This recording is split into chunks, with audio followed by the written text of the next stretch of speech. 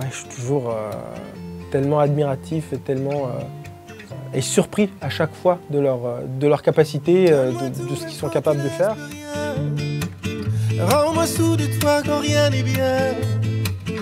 Fais demain quand le présent est chien. Et j'en ferai